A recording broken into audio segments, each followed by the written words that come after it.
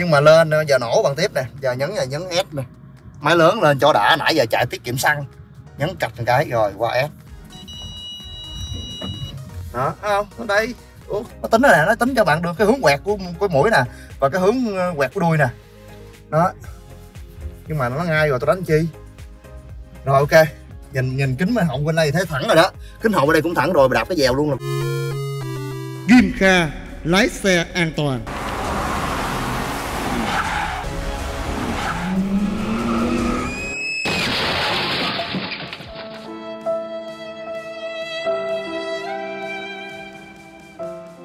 Rồi à, xin chào các bạn. Hôm nay Duy sẽ làm một clip phản biện lại à, Tụi nhân viên ngày trước đó, nó nói là Duy không dám à, chạy xe xuống đây. Nó là xe mẹt của Duy 7 tỷ bự không dám chạy con này xuống. Con này dám chui vô chuồng này nó dám chạy xuống. Đó tức là con này nó xuống rồi Mà nó xuống một lần đó nó như là máy cài vậy đó. Còn một chút xíu á Tất nhiên xe Duy là máy lớn Nó vẫn kêu tiếng như vậy Nhưng mà Duy sẽ xuống theo một phong cách của một chủ tịch. Duy không xuống theo phong cách của nó. Vậy thì chủ tịch đây là cái gì? Chủ tịch đó là người, người ta biết điều hành người ta biết là mình đang sở hữu những gì mình có. Đó, nên cách di xuống nó sẽ khác, cách di tiếp cận nó sẽ khác. Nó khác ở nhiều điểm sau đây. Hồi kỳ trước á, thằng em này nè, nó chạy cái đầu xuống nó dè đít lên, đúng không? Tức là cái thằng này nè, là tư tưởng sống đó là là tuổi trẻ ăn chơi banh nóc, tuổi già chống gậy mà đi.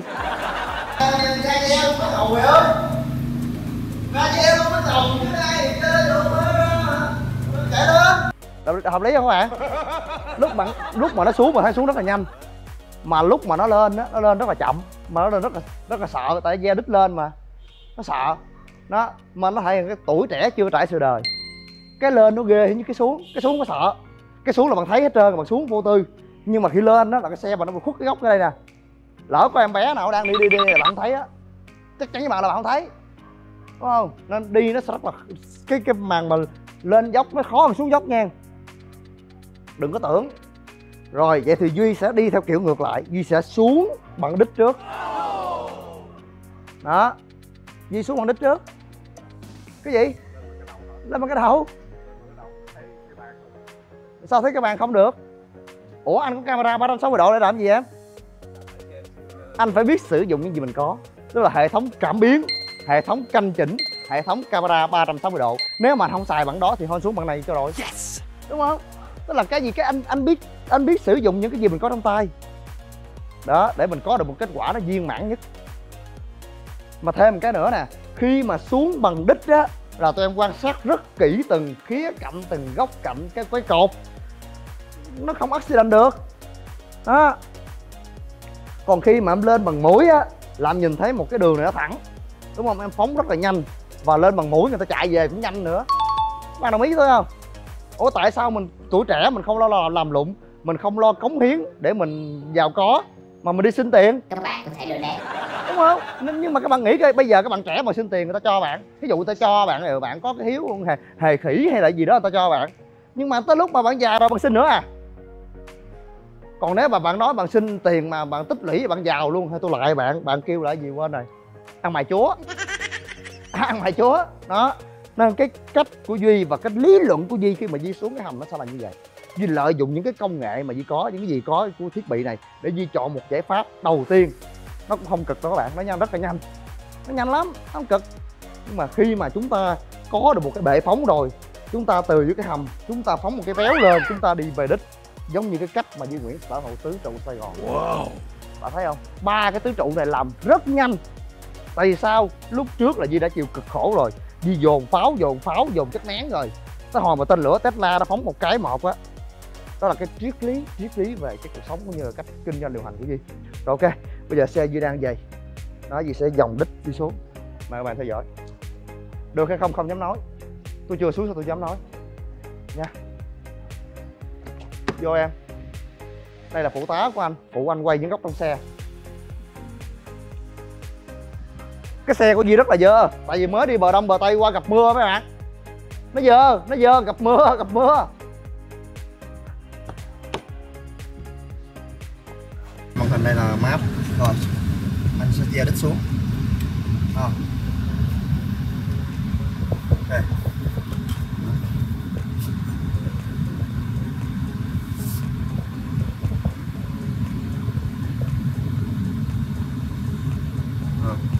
nó xong rồi chúng ta tiến mũi lên xíu. À, chúng ta có thể gia đình được rồi đúng không? Ok. Rồi gọn. Chỉ trong một số thao tác nhỏ thôi. Rồi chúng ta canh mũi hồng đó, à, canh mũi hồng anh không đeo kính nào mới ghê chứ. Rồi thấy được cái mũi hồng rồi. Đó. À, Duy chia, chia, chia sẻ thêm các bạn. Cái tập của Duy lái xe đó là Duy ngồi ghế rất là thấp. Nên hai cái kính này hai kính hậu hai bên là Duy nhìn không thấy được mặt đất. Duy nhiên thấy được mặt trên thôi. Còn nếu mà bạn muốn nhìn thấy mặt đất bạn chỉnh ghế cao lên bạn ngồi như vậy đó, thì bạn sẽ thấy được. Không, Duy không thích. Mà cái tật Duy á, Duy rất ghét sự làm phiền. Duy không thích sự làm phiền, nên Duy sẽ đóng hết hai cái cửa kính hai bên luôn. Chứ không như các bạn trẻ bữa hỏng bạn xuống đó là bạn mở cửa kính ra để bạn nghe người ta nói này nọ, âm thanh bạn nhìn cho kỹ đâu cái đó là phong cách của bạn đó. Còn Duy thì không. Đó, Duy canh cái miệng hầm nè không? Rất là nguy hiểm cho các bạn, phải giảm đâu đó Di lấy à, cái cái cái vách tường hầm Di làm chuẩn. Tại lúc này camera 360 độ nó chưa nhìn thấy nè. Nó có khả năng nở tán quy còn đó, nó có khả năng nở tán quy còn hiểu chưa? Đó. Rất là nguy hiểm. Đó mà thấy không? Không dễ đâu. Lần đầu tiên xuống hầm nó không dễ đâu các bạn. Coi nó ngay miệng hầm chưa? Đó, nhìn vô cái bức tường này. Đó, nó cảnh báo vàng cảnh báo vàng tại sao? Nó cảnh báo vàng này đó, là chưa biết được đó là cái đít nó gần đụng rồi đó. Đó, mà cái xe như đang xéo, cảnh báo vàng phía mũi là cái xe nó dính xe đỏ đây. Cái đó mình thấy được. Đó, nên tính năng an toàn gì sẽ chơi tiếp. Đâu có người support gì đâu. Có người support thì đứng cái kính nó quát quát là chưa biết. Rồi giờ, thôi kệ nó. Mình không tin thằng nào hết đó mình tin mình thôi. Đó, chỉnh lên cái, sợ nhẹ cái vậy đó. Xong rồi xuống rồi đó xe nó vẫn còn hơi đang xéo xéo miếng dứt qua bên đây một tí. Ok. Thiệt tình không thấy kính bên kia ta. Hơi nguy, nguy hiểm. Đó. Còn cái đuôi đó làm sao? Không? Cực chưa? Nè nhìn vô camera này à, bạn thấy đó là cái dốc đam của mình á đờ xe nó gần song song rồi nè nó chỉ lật qua đây chút xíu thôi. Đó nên khi mình đánh lái mình dặn quanh kia một chút. Tại vì duy làm clip duy phân tích nên duy xuống lâu hơn kia. Chút xíu ra ngoài nó khẽ cho coi nè. Fan của nhưng nói nhân viên của gì chứ nó không sợ gì đâu. Đó mình quan sát được cái bức bức tường bên này, nó chạy gần tới rồi không? Nó đánh qua. Ok. Cho thẳng lại, song song. Rồi, xuống. Đúng chưa? Ủa đây có cài gầm không ta? Các bạn nghe có cài gầm không ta? Không có cả nha mẹt xuống được nha các bạn. Rồi. Tới đây là mình nhìn thấy mũi không đụng tường nè đụng tường. Ok. Đó, phân tích kỹ những cái khả năng mà khi bạn đi chơi mà dính thôi. Chạy chút xíu nữa dính cái cái cái cái cái cây máy lạnh nè. Đó, gần ấy rồi đó thấy không? Thằng camera đi sát mũi xe của Duy nên Duy bị đỏ. Rồi xuống tới đây rồi, ok chưa? Nó giờ thực hiện lại bài lên. Đó tại vì cái hầm của Duy giờ nó đông quá Duy không quay xe đậu được. Tại vì bên kia bạn nhìn thấy nó quá trời ư là bề bộn đi. Nó nhiều cái vật liệu lắm. Đó nên xuống tới đây rồi, thôi. Rồi xong giờ lên. Lên đi gạt lái vậy chuyển về đê thôi. Giờ lên dễ không? Lên chở đi vòng chơi không? Lên quá dễ gì được. Rồi lên nhưng mà lên ờ, giờ nổ bằng tiếp nè, giờ nhấn là nhấn S nè. Máy lớn lên cho đã, nãy giờ chạy tiết kiệm xăng. Nhấn cạch một cái, rồi qua S giờ muốn chơi cái dèo hay chơi nhẹ nhẹ? Nhẹ nhẹ đi ha, rồi lên nha. Nè, mà nhìn đồng hồ nó chuyển về S rồi nè.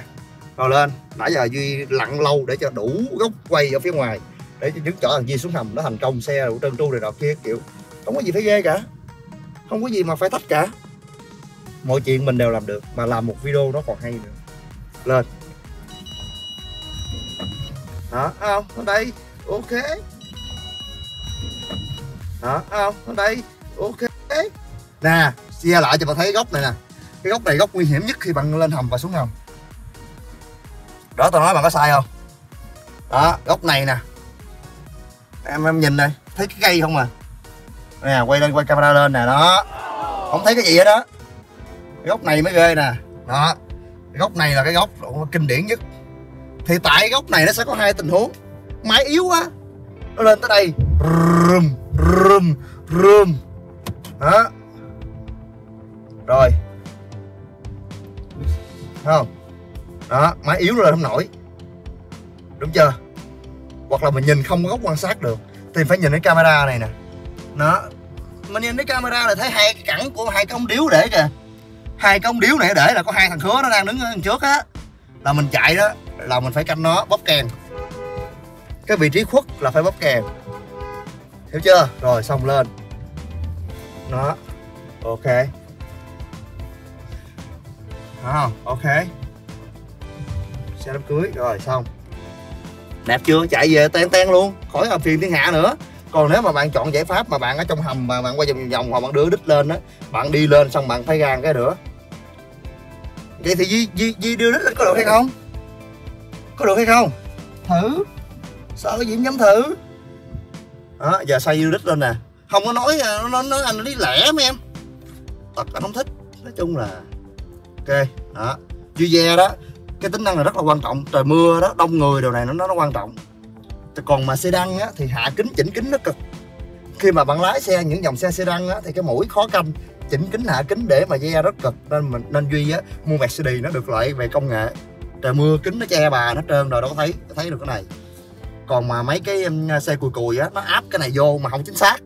Nó có hình mà nó hình tầm bậy. Dẫn tới mình chạy chạy đó, rất là nguy hiểm. Đó, lo nói chuyện quên số. Đúng không? Tai nạn hoài luôn á. Nhớ mấy chị em phụ nữ không? Chân ga, chân phanh. Lo nói chuyện xong quên số. Nè, đó. Giờ chơi S hay chơi ờ, chơi ờ, chơi thường? S máy rất mạnh nha các bạn. S lái như Lamborghini vậy đó rồi, ok. Rồi, ok. Ghê không ghê không ghê không? Rồi, ghê không? Mã ơi, nè, góc này rất là nguy hiểm nè. Hỏi cái nó khó hơn kiểu. Giờ Di đứng đây, bạn nhìn đây, góc nhìn của Di nè, bạn quay nè, bạn chả thấy gì. Góc của Di là góc này là góc điện thoại nè các bạn. Là không thấy con khỉ gì hết. Cái má hầm nằm ở đâu? Bởi vậy lên và xuống, nó đều có cái góc nguy hiểm của nó. Đúng không? Cái góc mà góc ngay chỗ mũi á, rất nguy hiểm, mình không có được sự quan sát. Mình phải nhõng đít cho mình coi đó mình nhõng đít lên mình coi này nọ kia. Nhõng đít lên coi cực quá mấy em. Rồi, hoặc là mình phải nhìn bên đây, tháo cái cửa xuống vậy ló đầu ra nhìn, vậy dẹt rồi. Khi mà tháo cửa xuống ló đầu ra nhìn thì mọi chuyện trở nên rất đơn giản. Nó không có được cái cảm giác feel. Khi mình làm mình làm chủ cái xe, mình control cái xe. Đó, bạn hiểu không? Cứ từ từ, có cả gầm nè. Nếu mà nó cả nó sẽ cả ngay vị trí này nha. Nên mà xuống thật chậm. Đó, bạn xuống thật chậm. Đó, bạn né qua bạn nhìn cái góc bên đây nó còn dư, mắt thường nhìn thấy được. Góc bên kia nó cũng còn dư nhiều, nè, camera nè. Nó cảnh báo vàng là còn lâu lắm mới đụng. Bạn xuống từ từ đi, chút nó đỏ nó chưa đụng nữa. Đó. Nó đỏ chút xíu nữa nó mới đụng. Rồi, thấy không? Xe mình chuẩn bị ngay rồi kìa. Góc này góc rất dễ xuống. Góc rất dễ xuống. Nhưng mà bạn xuống chỗ này phải xuống từ từ nha. Bạn xuống chỗ này, bạn phải xuống từ từ nè. Bạn xuống từ không có dập cái mỏ. Đó, camera vui lòng. Thằng này nó có kinh nghiệm quay xe lắm em. Nó sẽ quay cái mỏ nè. Đó nhưng mà tại sao Duy dám xuống như vậy? Duy đang để chế độ nâng gầm. Chế độ nâng gầm của con mạc cúp này nó nâng lên đường khúc nữa. Còn nếu mà chế độ mà không nâng gầm á, thì Duy không biết là xe này có xuống được hay không. Nếu mà cái con xanh nó xuống được á, thì cái xe này nó mới xuống được. Còn không á, những cái trường hợp mà hầm hiết này nọ là duy phải sử dụng chế độ nâng gầm. Mà chạy ở đường sái việt nam là duy phải sử dụng chế độ nâng gầm. Không sử dụng chế độ nâng gầm với gầm duy rất sát. Mấy tình huống này thua. Đó, rồi chạy xuống. Đó, đúng không? Rồi, ok ví dụ như giả dạ, bộ lách xéo bằng cái đi thì cái xe duy nó bị xéo chút lên là rất khó. Rồi giờ lên lại bật camera sao thấy kìa trời ơi lên dễ ẹt đó không? Đúng không? Nè rồi thấy không? Đánh nè. Đó, đánh lái nè cho nó ngay xe lại. Ok chưa? Cho nó ngay xe lại. Người ta cẩn thận là ta phải xả kính xuống ta nhìn ra tường kìa. Còn duy không cẩn thận duy thiểu về cái xe. Duy nhìn vô màn hình này duy không thích sự ồn ào. Còn tất nhiên tôi sẵn sàng tôi xả cửa xuống. Ê cô canh giùm anh nhé mẹ. Ê cái, cái dụ như anh xả cửa xuống. Ê cô canh giùm anh đi. Chút anh cho trăm ngàn nha. Hai em ra ra sau hai đuôi canh này nọ kia rồi quắt quắt quắt cái tay cho anh để anh lên nha. Đó là một cách còn không á dịch vụ á sẽ có một bảo vệ. Nó đứng ra đưa chìa khóa cho em em phóng luôn. Cái đó thì hên xui à. Thôi xe mình mình chạy. Cái tay lái đang đánh vậy là không có thẳng nè. Đó nó sẽ quẹo qua đây xiền luôn. Đó chỉnh lại. Bạn nhìn mà cũng biết nè nhìn nè không em nhìn qua đây nè. Đánh vậy là cái tay lái chưa thẳng nè. Nè cái hướng xe nó quẹo nè. Đó nó tính hết rồi cái cái công nghệ này nó tốt lắm. Nè nó chính xác nha quan trọng là ăn tiền ở chỗ chính xác. Chứ còn làm được cái này á, thì thằng nào làm cũng được hết. Khi bạn đánh như vậy thì cái cái cái cái mũi nó sẽ quẹt vô hướng này. Tức là bạn đánh có hết vòng đi nữa thì cũng chưa đụng tường nó tính là nó tính cho bạn được cái hướng quẹt của của mũi nè và cái hướng ờ, quẹt của đuôi nè. Đó. Nhưng mà nó ngay rồi tôi đánh chi? Rồi ok. Nhìn nhìn kính hậu bên đây thấy thẳng rồi đó. Kính hậu bên đây cũng thẳng rồi mà đạp cái dèo luôn là cũng không có đụng nữa.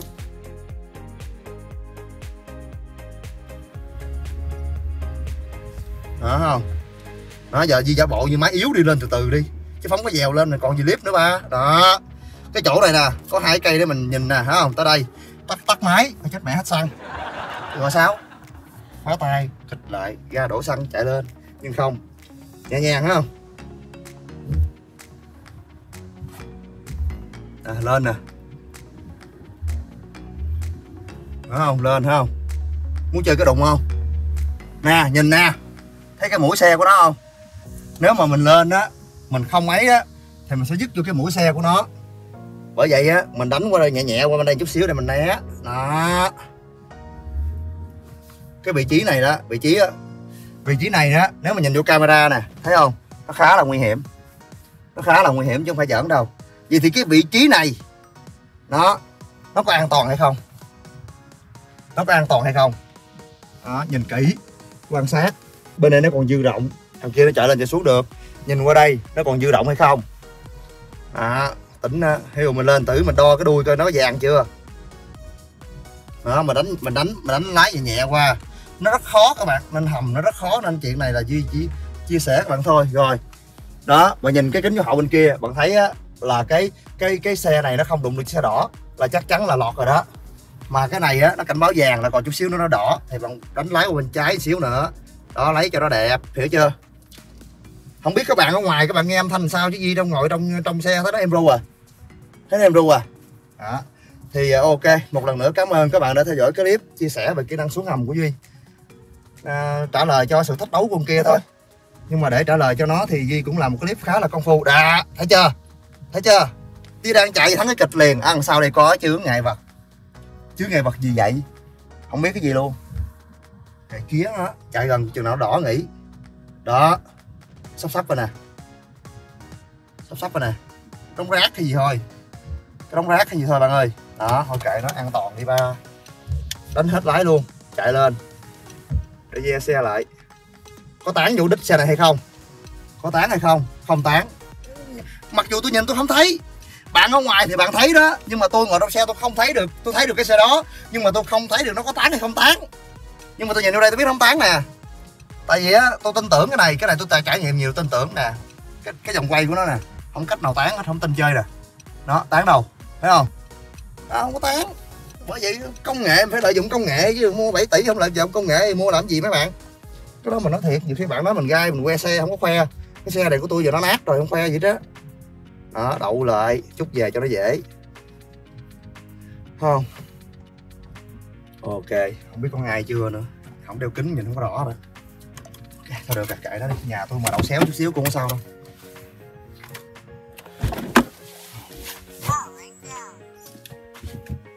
Rồi à, em ra xe đi em đóng cái cửa lại giùm anh. Rồi cảm ơn các bạn đã theo dõi video. Ở trong xe gì đã minh họa rất là nhiều góc và nhiều tình huống những cái điểm nguy hiểm của cái mũi mũi ở dưới hầm và cái điểm ngay đây. Cả ve cả không ve cả camera cả góc nhìn cả nâng ghế hay không nâng ghế nói chung nói một câu thật lòng xuống hầm là chuyện không dễ. Yes. xuống hầm là chuyện không có dễ đâu. Nên chị em phụ nữ đến THOL Dream Center cái sân rộng lắm cứ để cho em út nó đậu đi. Sân rộng mênh mông mà sẽ hơi đậu cả trăm chiếc. Mình làm ra bốn cái tứ trụ đinh chỗ nào cũng dành cho xe hơi một dịch vụ VIP only. Sau này chắc tuyển à, tài xế à, lái à, B2 xuống đây cho khách luôn ha. Rộng lắm bạn. Xe máy động hết đâu rồi bye bye cảm ơn các em BBT, anh cả tiên phong ngành gym và supplement.